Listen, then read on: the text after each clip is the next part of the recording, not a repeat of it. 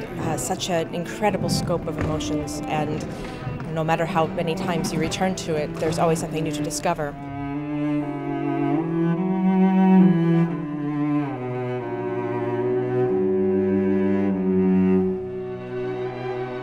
It's always been my dream, actually, to record the Elgar because it's one of the greatest masterpieces that we have. Of course, um, I never dared to dream that I could record this with Daniel Barenboim.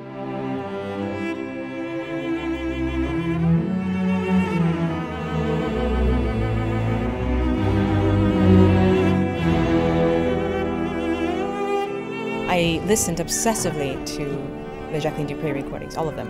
And I listened to that to that full-length performance with, with Barenboim conducting when she was 22 years old, was in 1967. I, I think I listened to it every day when I was a kid. And then when I started to learn it, I realized that I would have to put those recordings away.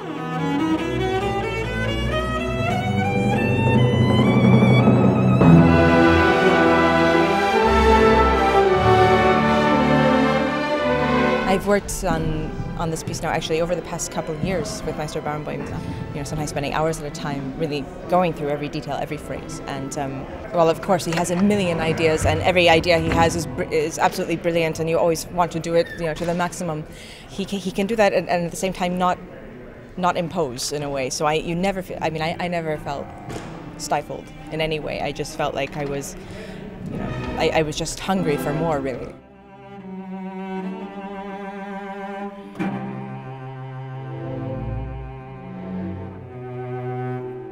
If you think about when it was written right after the First World War, and also if you think Elgar's wife died very soon after it was written, and he didn't write anything for 14 years. It was really the last major work that he ever wrote. I, I sometimes feel that the, that the piece uh, sort, sort of feels forced to close the door on an era that will never return, and how heartbreaking that really is.